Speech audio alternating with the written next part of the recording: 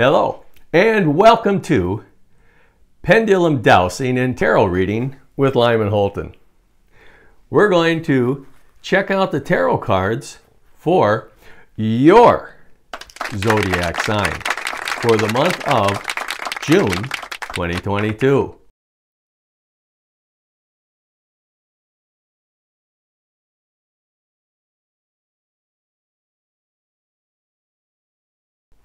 Are you ready? Let's get going.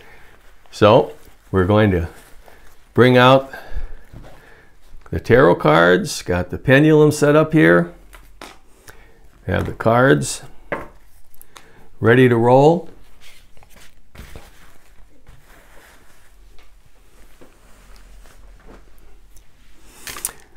And we're all set. This tarot card reading is for people born under the zodiac sign of Libra. Their birth dates run from September 23rd through October 22nd. This is for the month of June 2022. The strengths associated with Libra are cooperative, diplomatic, gracious, fair minded, and social. The weaknesses don't get your feelings hurt. Indecisive. Avoids confrontations. Will carry a grudge. And self pity. Now remember, these are generalizations. So, some, none, or all of these may apply to you. And only you know which ones really do. Now we'll get on with preparing for the reading. Move the pendulum off to the side a little bit here. And I'm going to shuffle the cards three times. Cut and shuffle.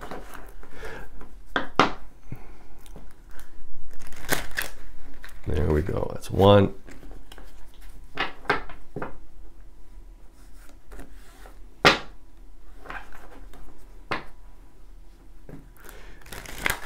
That's two.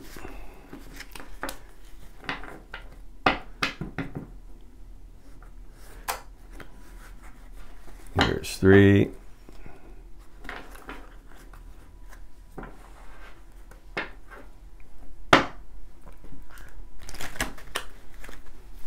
There's, we go. Now, with my left hand, because the left hand is associated with the right hemisphere of the brain, which is the intuitive side of the brain, I put the cards into a fan.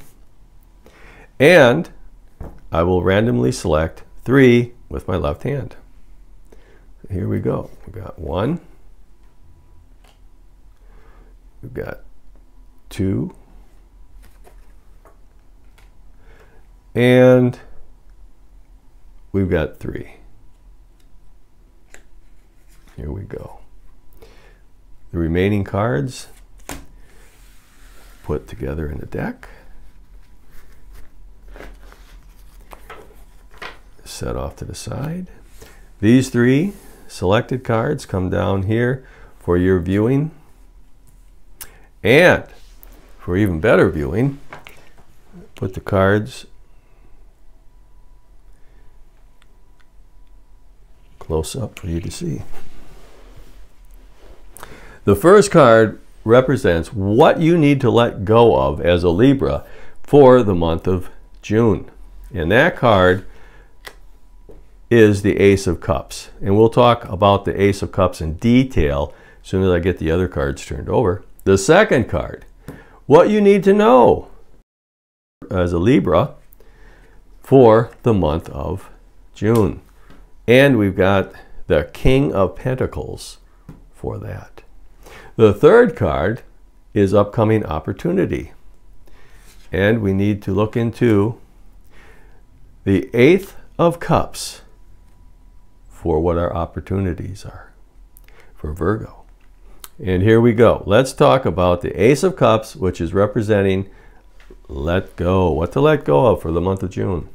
The Ace of Cups represents inspiration, love relationship, fertility, renewal, happiness, insight. The ace is a sign of a fresh start, typically a new relationship. It is a good time to open the heart and accept what someone else has to offer. This card is in the what to let go position of this reading. Do not start up a new relationship in June. Do not have someone step in and win your heart and try to give you whatever. Put that on hold until July. If something like this pops up, just keep it at a simmer. Don't go anywhere with it. Just a kind of a nice friend for a while, right? Okay, see what happens in July. Because you've got things going on in June that this is not going to work for you. So we move on to the next card, which is what you need to know for June. And we'll look at the King of Pentacles for that.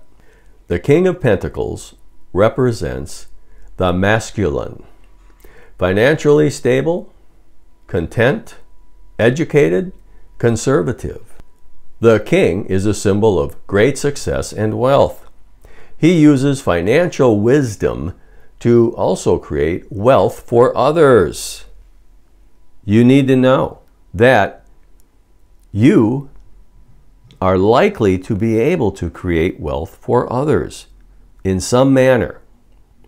So think about what's going on in your life.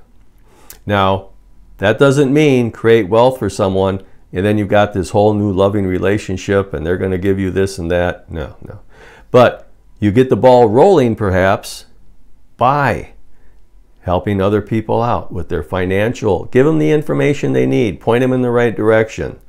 You know this. Now, this card is masculine. That doesn't mean females cannot follow this advice. If you're a man, you've got some feminine qualities. If you're a woman, you've got some masculine qualities. That's the way it is. Testosterone, testosterone, we both got each, but one has more than the other, right? Okay, think about that.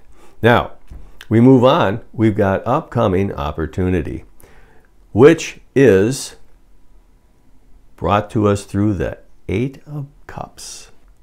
The Eight of Cups represents unfulfilled, drained, focusing inward, spiritual seeker, change of heart. The Eight suggests abandoning a disappointing situation.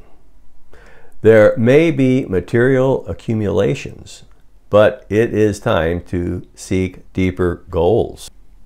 Now, that's your upcoming opportunity is to seek deeper goals. But you're not it's not the time to do it with this nice warm giving relationship here. You're going to be able to help people out, especially financially. You're going to get them in the right direction. So you can see how your opportunity and what you need to let go if you don't work it correctly, could clash, cause a big problem. So keep that in mind. Think about what's happening in your life. Now, that's all I have to say about these cards, so I'm going to double check with my pendulum.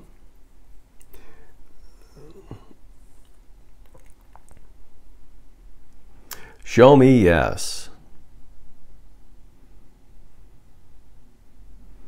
And the pendulum goes into a counterclockwise spin, indicating that my higher conscience is going to give me a yes by showing the pendulum circling in this direction. Show me no.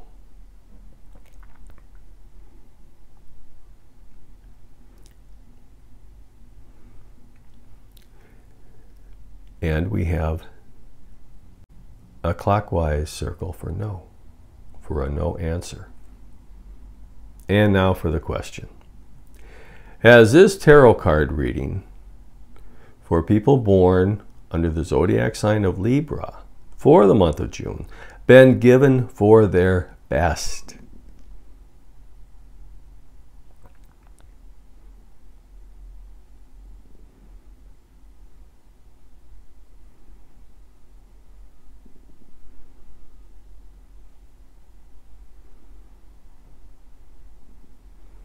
Okay, and there we have a yes. So that means we've got the appropriate cards laid out here. The reading is appropriate. We're on track. I'd like you to know that I give private tarot card readings and or pendulum dowsing. If you're interested in that, send me an email to lyman.holton at yahoo.com. In the email, ask your questions. Tell me whatever information you think you want me to know, if any, and I will make a video of that reading and or dowsing and I will send you a private link to that so other people don't see it. After you view the video, you go to my YouTube channel on the top right portion of the page. You'll see a spot where it says donate to my channel. That is through PayPal. And what you do is you insert the amount that you think is adequate for what you got out of the reading. See there? You can't get hurt on this deal because there's no set charge. There's no set fee. You determine that. And I hope to hear from you. That's the end of this reading. I hope this was the best tarot card reading you've ever had. And that the month of June works out to be a wonderful month for you in the year 2022. I look forward to seeing you the next time. Good luck and goodbye for now.